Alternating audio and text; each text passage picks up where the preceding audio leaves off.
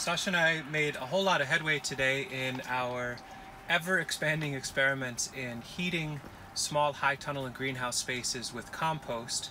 Took a little bit of a detour from the plan in this space, we'll come back to it, of heating from the floor and focused on creating a pretty substantial hotbed on the far end of this high tunnel. Let me explain what we're thinking about here. The last time I documented anything in this space, I'll link here.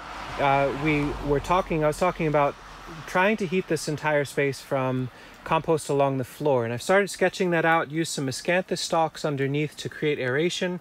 We may come back to that. We probably will come back to it because I'd like to see what happens. But a number of folks indicated, well, you need more volume for things to really work out. So committed to, on the south side, a low tunnel that allows sun directly in but pins the warmth along the top. And on the north side, a domed low tunnel.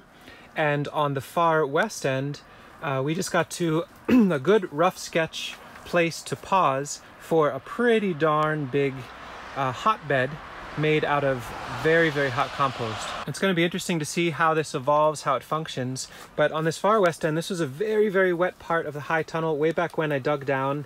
And once the uh, snow thaws, this tends to fill up with water.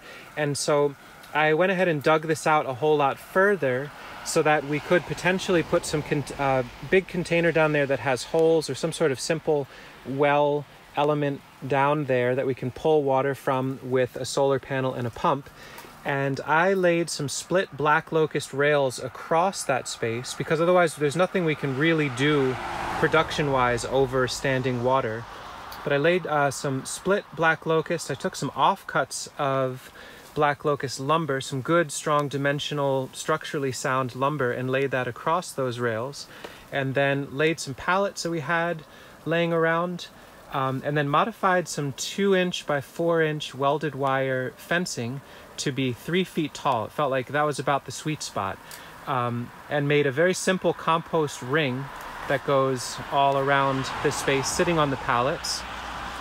And did this in a very rough sketch kind of way. There's some boards along the back to protect the poly from direct contact of compost. And then Sasha went through and packed a bunch of hay in between the compost ring and the poly to protect the poly but also insulate the compost so it doesn't lose its heat to the outside world. Uh, I went ahead and tied off just a little bit um, to the structure itself on the two sides so it wouldn't move around and then I zapped in a batten across the front out of a scrap of black locust so the front can't slide off. We then laid in a first course of dry deciduous leaves as a filter or as a catch for material. Rather than putting plastic or any other material, we just use the dry leaves we already have, tons of leaf bags, of course. And then uh, went back and forth between layers of uh, really fresh wood chips and insanely hot compost coming out of the north end of our winter chicken run. So this is part of the solution of sketching at uh, taking that excess material and moving it somewhere more functional. As we went up each layer, we added a little hay in the front and that kind of catches and holds material and adds a little bit of a filter and makes it look nice. And some of the layers of the hot compost that we dumped in were so hot that it filled this space with steam. It was basically like a, a, a slightly stinky sauna.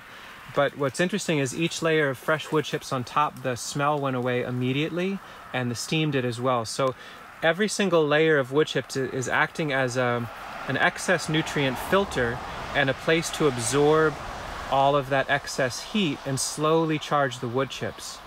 I suspect the hot, hot compost from the chicken yard will be what kicks this off to start cooking very quickly, and then the wood chips will be what carries this all the way till last frost in the spring. So this pile stands at about three feet tall, a little bit taller, three feet deep, and seven feet wide. And so I think that checks the box of what a lot of folks indicated of you need a, a, a particular critical mass or critical volume rather than surface area. The floor itself, the walkway, I still am interested to develop this for a little bit of excess radiant warmth. We can pull the poly over these low tunnels to capture it and send it up into the beds, into the beds. But this is a good first simple rough sketch of what it looks like to have a pretty large hotbed in the high tunnel, providing heat for the rest of the space.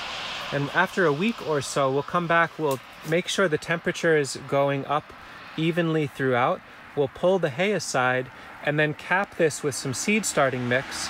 And with a little dome of poly over it, we should be able to start our basil, our hot peppers, tomatoes in there within about a week. Because uh, this should, I'm gonna guess it'll get to around 120 at the core and keep the soil surface at least 70, 80 degrees, even if we get very, very cold weather. It is still no joke winter out here. Tomorrow it starts to thaw, maybe 45 degrees, no sun though. So the snow is gonna be here for quite a while longer, but the clock is ticking and we really need to get our onions started, a whole bunch of our other annuals, um, and a bunch of nursery seedlings. So, so far, even without that um, hot pile on the far end, this double layer of high tunnel and then poly, I found that the soil wasn't freezing under there even when we got down to around 16 degrees the other night.